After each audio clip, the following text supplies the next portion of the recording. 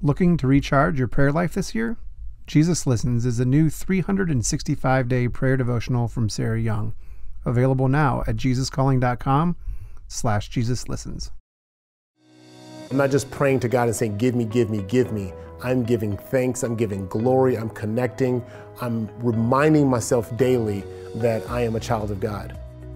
Welcome to the Jesus Calling Podcast. There's an element to having a relationship with God where you feel compelled to tell others about His love.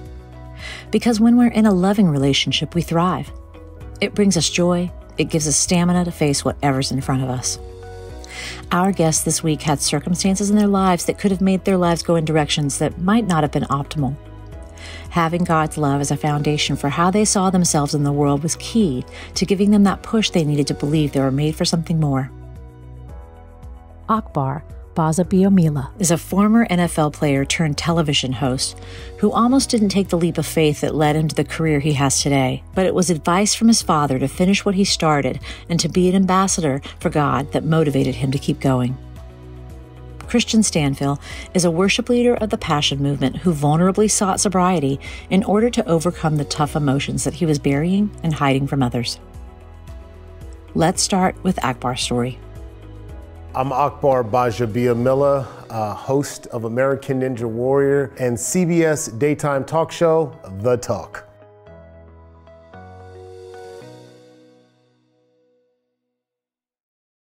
I grew up here in Los Angeles, California, and it was different for me growing up because I grew up in a predominantly African American community, but my parents came to this country from Nigeria.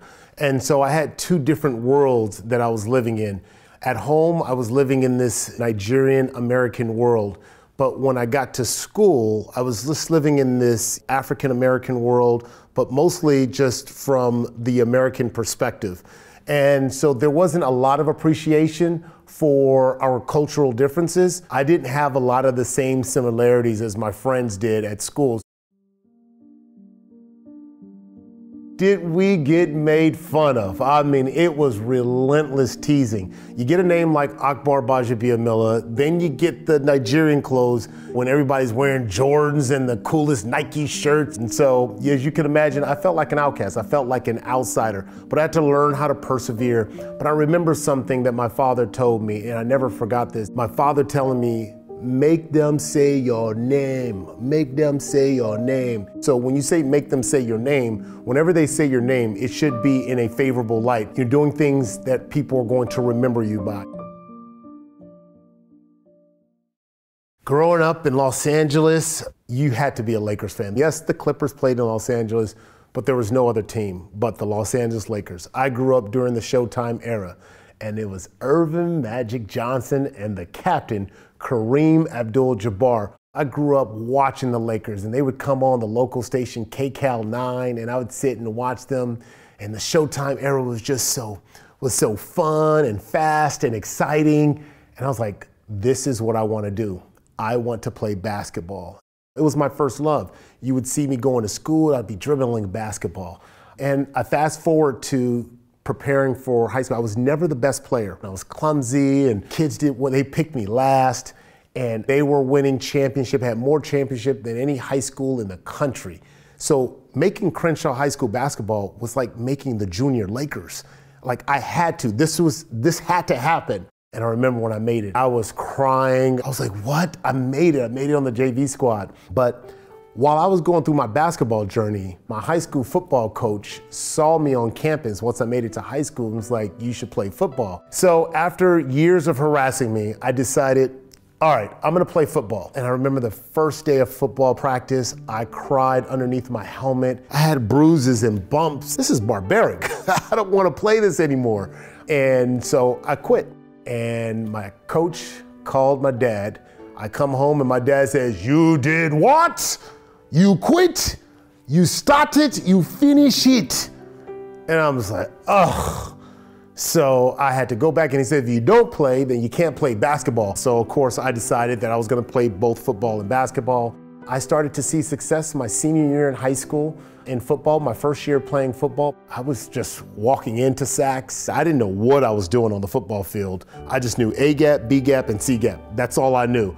And I got five scholarship offers in football and zero scholarship offers in basketball.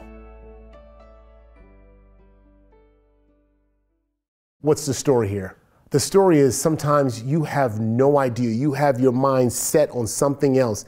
And sometimes others see something special in you that you can't see in yourself. I had no idea that my coach who was calling it. And it reminds me of how the Lord calls on other people. And sometimes you ignore that voice. And I was ignoring that voice until my dad made me stay in there and listen to the voice. And that would then get me a scholarship to play at San Diego State.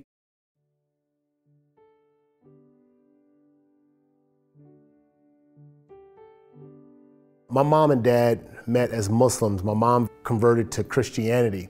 And so raising us up, we grew up in a dual religious household. They raised us in a dual religious household where we would go to church, we would go to the mosque. My dad would pray in Arabic, my mom would pray in English from the Bible. It was love, it was all peace. I get a scholarship to go to San Diego State, and there were about four Muslims on the team. And we would do Ramadan together and I was surrounded with a lot of Christian men in the locker room. And so this is when you kind of, you're not under the direction of your parents anymore. You're kind of growing into your own. You're trying to figure out who you are as a person. I think just being around my mom, the stuff that she instilled in us started to flood up as I was having conversation with my peers. I remember after my freshman year, uh, I just said, you know what? I'm not Muslim, I'm not Christian. I'm I'm just a believer in God. And I just wanted God at that time. I felt like it was God putting it on my heart. Like I needed to strip identity and all this other stuff so God could work in me. All the stuff that I got from my dad, all the stuff that I got from my mom. And so there was, of course, there was a reservation inside of me. I found a person who was just like me, Pastor Miles McPherson for the Rock Church. African American. He was a football player, but he grew up similar to the way I grew up. Um, wasn't Nigerian, but it didn't matter. But he spoke the language that I spoke, and he also was very relatable. But more than anything, I had realized I had never really been taught the Bible.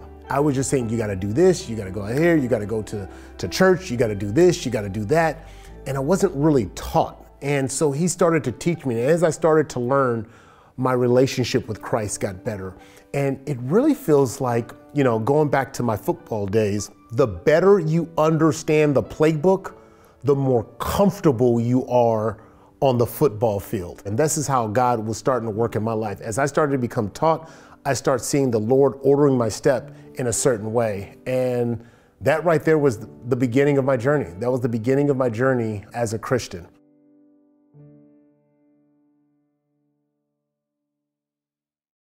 During my time at San Diego State, you know, my dad always prepared us for obviously be focused on what you're doing. At the time was school and, and sports. I was a student athlete. But there was something that really drew me in as a young kid. Oprah Winfrey would come on at three o'clock. And there was something about Oprah Winfrey that just spoke to me. I loved Oprah Winfrey. So by the time I got to San Diego State, they asked me, what did you want to major in? I said communications. But all of the advisors wanted me to be a criminal justice major. And I was like, that's not for me. I wasn't a big name NFL star. I was very proud of my accomplishments making it to the NFL, but I didn't create a name. And so the challenge was as I was leaving the NFL and transitioning, you know, you saw that TV was only meant for the big name, the guys who played in the playoffs and the Super Bowl. These were the guys getting the big TV jobs. And I got I thought to myself, how do I get in? How do I find an opportunity? All I've done is play sports. That's all I've done for my entire life at that point. And I thought, how am I going to do this? So I had to kind of sit for a while. I mean, and I prayed, I prayed, I prayed. One day I'm sitting in my townhome in San Diego, and I just got up and I go, you know what? I'm gonna go to the local NBC station and I'm gonna tell them that I'd like to work for them. I knock on the door unannounced, nobody knows I'm coming midday and I said, hey, my name is Akbar. I would love to do the post-game show for the Chargers and for the Aztecs. I would love to have this opportunity to do this job, but I'll do it for free. And I just remember the look on his face like, for free? Yeah, of course you can. Done. It took me about five years before I, I kind of broke onto the scene. But in between there, I almost gave up. And I remember my father and says, if you started it, if you start it, you finish it. And about year three into my broadcast journey, I wasn't making a lot of money. It was really struggling. I was starting to lose the money that I had saved up from the NFL. And I'm going, wait a second. Maybe I'm living a pipe dream. Maybe this isn't reality for me. Maybe this isn't going to happen. My wife was getting frustrated with my dream and with my journey. And I remember going out for an audition for the NFL network, and I didn't tell her. And I went over to this audition, and boy, I was going up against some big football names. You wouldn't have picked me out of this group at all. You'd be like, that guy doesn't have a chance. He might as well go home. And the Lord would have it that that day I'd be able to, to get the job. And it changed everything. It changed the trajectory of my broadcast career. It would later pay off because now I'm hosting American Ninja Warrior. I'm hosting a daytime talk show, thank you, Oprah, on CBS called The Talk. And I've just started uh, hosting my, my new show now on Roku, which is Fight to Survive. And, you know, I would have never thought back, young kid from, you know, South Los Angeles, that I would end up having three shows. The point of that story is, is that sometimes you do have to create your own opportunities. Sometimes you have to step in faith, and sometimes it looks scary. My father used to say, You're an ambassador for the family, but you're an ambassador for God. And I never, ever, ever forgot that. Jesus listens, April 29th. Glorious Jesus, help me to lay down my problems long enough to gaze at you. Sometimes I picture myself standing at the edge of a magnificent ocean on a beach covered with pebbles. The pebbles represents problems, mine, my family's, my friends, the world's. When I pick up all these small stones and hold them close to my eyes, examining all their details, my view of the grandeur all around me is blocked. The ocean represents you endlessly glorious and continually present with me. I want to put down all the pebbles so I can experience your loving presence. As I wait with you, I can almost hear you whispering, Choose me, beloved. Choose to see me, to find me in your moments. In your exquisite name, amen.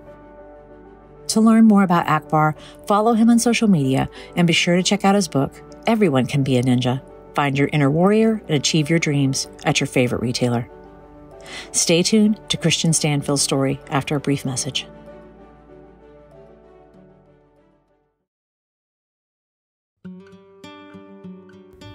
The Easter season is filled with joy and hope.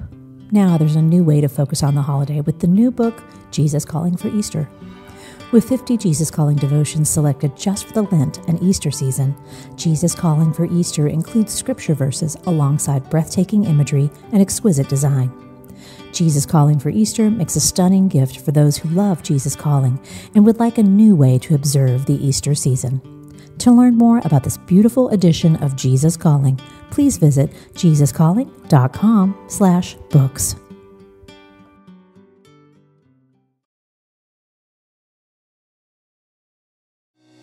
Our next guest is a Christian worship leader and songwriter who has written and performed countless inspiring songs about God's love. Kristian Stanfill is a worship leader at Passion City Church and a leader within the Passion Movement. He shares how behind the veneer of shiny guitars and well placed vocals, he was masking his emotions with alcohol.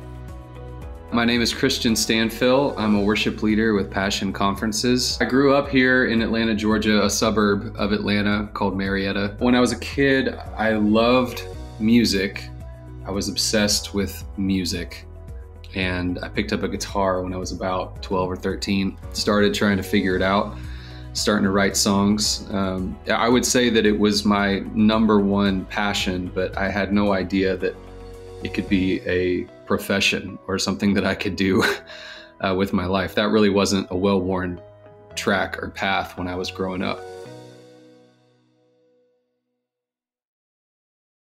I started leading worship in my, my uh, middle school youth group when I was about you know, seventh grade, eighth grade, and it was not very good. It was very bad. Me and, and a few other people were in a band, and you know, we were 13, 14 years old trying to figure out how to play music together. So it was pretty rough, but we saw God do some really incredible things. And that started my journey into writing worship songs, leading worship. We started to see just this massive influx of students coming into our ministry, people giving their lives to Jesus. It was very real. And I think that's when God really called me in that season of my life. It kind of got its hooks in me. And I thought, man, if I could be a part of helping people see Jesus and encounter the presence of God with my life, that would be pretty cool. We had a youth pastor who really took us under his wing and helped us understand that we needed to rehearse and practice as a band. He encouraged us to write songs. And then he would give us opportunities to lead every Wednesday night. And even sometimes on Sundays in the adult gatherings, he would ask us to lead worship. And so he created a space that was safe for us to grow musically and also spiritually. And we actually made a little recording, we made a little CD which funny enough was mostly passion songs. passion was, we were just starting to hear rumors of what God was doing through passion. And so we got into this little studio in Alabama and recorded this 10 song CD called Just Worship. Looking back on it now, you might say, ah, it's, it's pretty, you know, pretty raw. But at the time it was, it was a, it was a very true offering of worship. So those were the real formative days for us. You know, there were large chunks of time, especially in the last seven or eight years, that I just pretended like everything was okay. And no one was telling me to do that. I didn't feel any pressure to do that. Now, certainly, you know, social media makes you think you have to have your life together all the time. but there wasn't anybody who was telling me, like, hey, you, you just need to like put a face on and like, you know, suck it up. But what the last couple years has taught me is that it's okay to be honest moment by moment and be true to, to, to, what's going on right here and now. For me, you know, alcohol became something that I used to numb these feelings of inadequacy or failure or I'm not good enough or I'm not measuring up. And I think we all feel similar emotions and similar things. And we all live in the same world and feel a lot of the same pressure. I just wasn't dealing with it in a healthy way. I was running from it. I didn't want to face any of that. I didn't want to figure out what was at the bottom of those emotions or those feelings. And it all kind of came to a breaking point at the end of 2020. Things are a little bit quiet and still for the most part.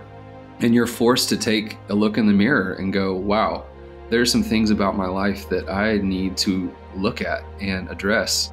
My wife, my pastor, Louie, his wife, Shelley, some counselors, we all got involved and started the really hard work of excavating, like emotional excavating, like getting down below the surface. You know, there's the topical issue of alcohol, but like, what is the thing way down deep that's causing the drinking. What am I running from? That is one of the more emotional parts of the story for me because what I expected when my wife finally knew what was really going on, when my friends finally knew what was going on, when my pastor knew what I expected would happen would there would just be like the hammer would drop. The book of judgment would be opened and there would just be this verdict of you are filthy, you are not worthy, get out of the community. But to be honest, I got the opposite. I got just open arms and grace and love. Now, there's a lot of hurt. It's still been hard. So, I'm not saying that there's definitely consequences when it comes to sin. And there's some things about my life that have changed professionally and personally because of the last two years. But I would say that the first step that everybody took was toward me and not away from me. That was maybe the most the most catalytic part of the process of healing for me was knowing that I had a community of people that were going to see me through to the other side, see us through to the other side. Not just me, but my wife, our kids, our family.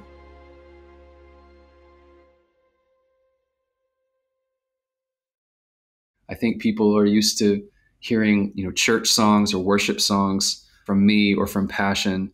It's been really cool to release Make It Out Alive. This record is more of a human, vulnerable, honest, authentic, like, let me just show you what's really going on kind of a project.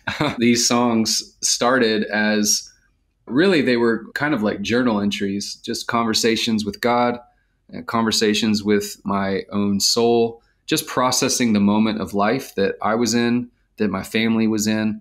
And I started to meet a lot of other people that were in a similar stage of life that I was in and everybody felt like they were on an island. Everybody felt like they were isolated or alone in their brokenness or in their struggle or whatever they were battling day to day. And so I started to really pray. That's where it started. And then I just I started to get to work. And that process grew into the record that is Make It Out Alive. It's very honest, very personal. I lived every lyric on this project, but I think it's a universal message. It's gonna take some time. Healing always does. Embrace the road you're walking. Be patient with the process. You're gonna make it out alive. It's a human message that we don't have to pretend. We don't have to project an image when, when we come to God, when we come to other people. We can take our mask off and be who we really are.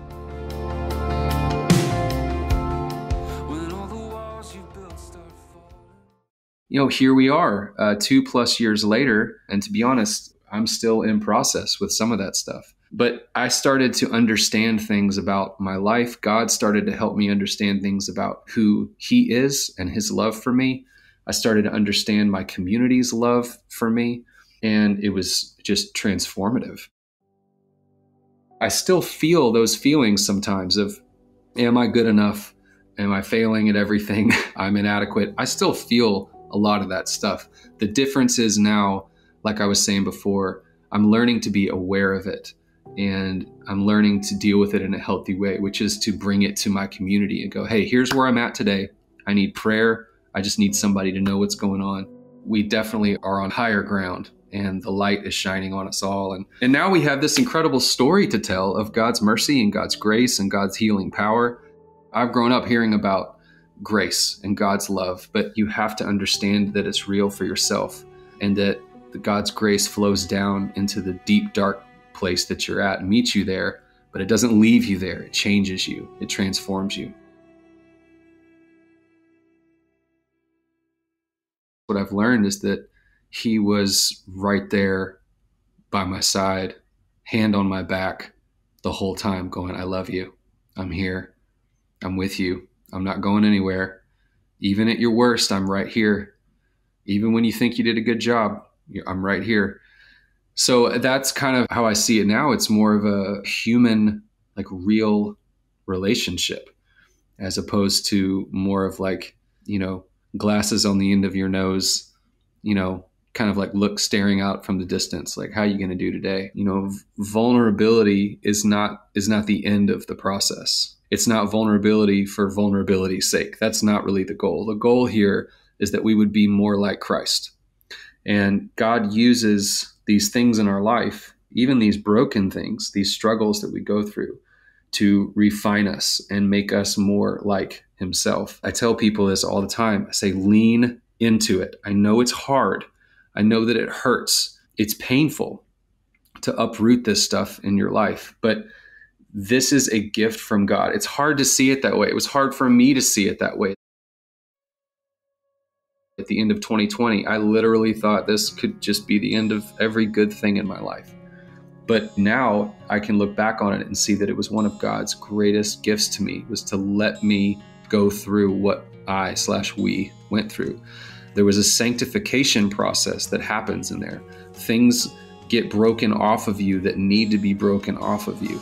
God chips away, and coming through it on the other side, you are made more into the likeness of His Son. And that is the goal. If you want a resurrection, then a dying has to happen. But this death is not the end, it's where your life begins. I will be in process for the rest of my life until I meet Jesus face to face, I will be in process. I will be continuing to grow and become more like him. That's just that's an endless that's an endless process, but it's a beautiful process. Kristian closes this episode with a reading from Jesus Listens, February 15th.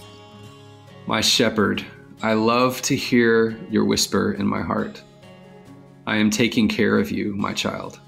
Sometimes I feel alone and vulnerable, exposed to the elements of this fallen world.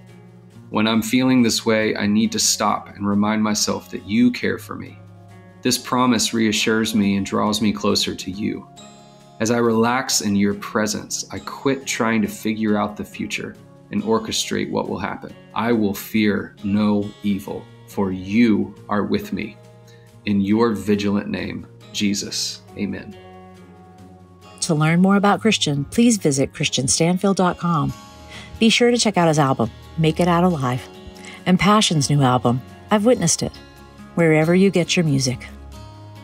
If you'd like to hear more stories about the empowering foundation of God's love, check out a special bonus episode of the Jesus Calling podcast featuring multiple guests talking about the power of love.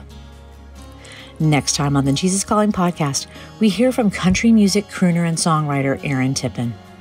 He describes the moments when he feels God's presence most acutely when he's flying an airplane.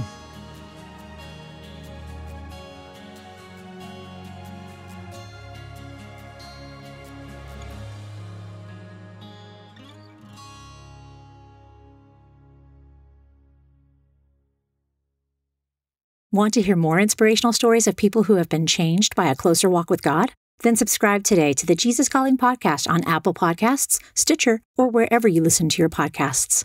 And please be sure to leave a review, which helps us reach and inspire others with these stories. Plus, if you like seeing our guests as well as hearing them, you can find video interviews available on our YouTube channel at youtube.com Jesus Calling Book on Facebook and on the Jesus Calling Instagram page.